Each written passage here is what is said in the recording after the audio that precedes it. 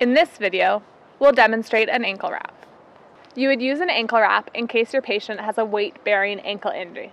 They may have twisted, sprained, or potentially even broken their ankle. But if they can walk on it, you can use this wrap to support the ankle. All you need is a tensor bandage. This is a tensor. It's very stretchy and very supportive.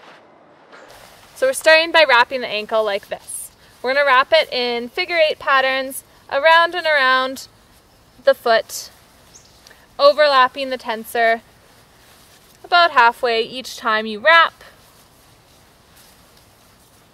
until we have the foot covered from the ball of the foot past the heel and up at the ankle.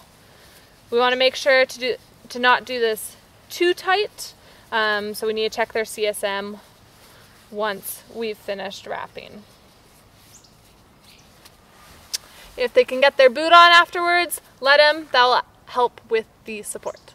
So that's the ankle wrap for weight-bearing ankle injuries.